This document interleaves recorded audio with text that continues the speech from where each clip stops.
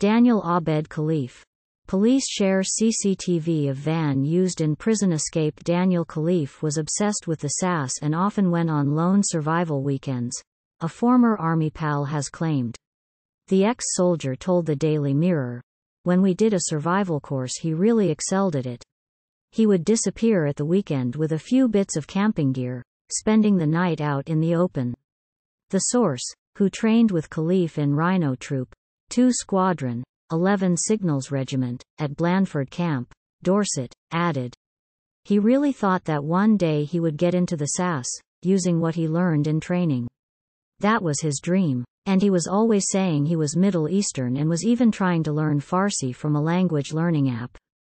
Police have released CCTV footage of the food van Khalife used to escape. Image, Met Police. Another military source said. He was always pulling pranks and had to be the center of attention. Which is ironic now because he appears to be Britain's most wanted man. It comes as Met Police Commander Dominic Murphy said a man fitting the terror suspect's description was seen walking away from a van he is suspected of hiding under after his escape from Hump Wandsworth. The Bidfood vehicle stopped near the south entrance to Wandsworth roundabout, about a mile from the South London jail. Mr. Murphy said. My message to him is to hand yourself in. Either call us or go to a local police station and hand yourself in. Police are offering a £20,000 reward for anyone with information that leads to the arrest of the former soldier after his escape on Wednesday. Mr. Murphy said. With the reward we are offering and the amazing support we have had from the public and the media, we will be closing in on you, Daniel. You really need to come in and give yourself up. Mr. Murphy added.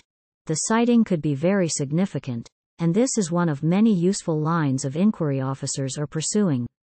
The fugitive, 21, was reportedly last seen walking towards Wandsworth Town Centre.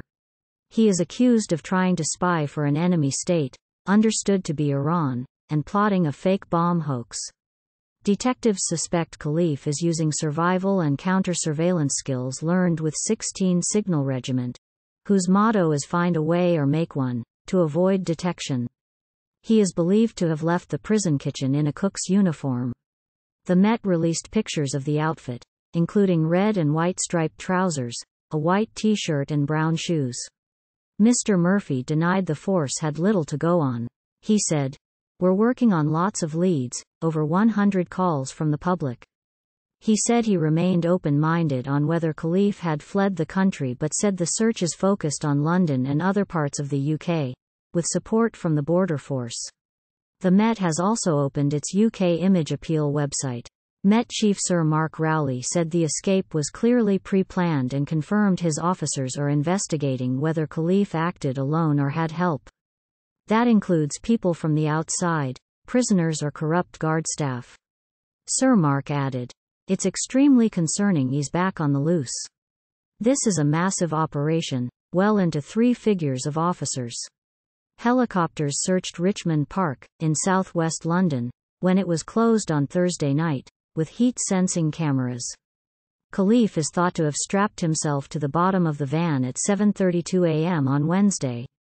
Prison staff realized he was missing at 7:50 a.m. but did not tell police until 8:15 a.m. after a search. When officers stopped the delivery van at 8.37 a.m. on Upper Richmond Road in Putney, there was no sign of Khalife, just straps. Justice Secretary Alex Chalk said an independent investigation will take place into the escape.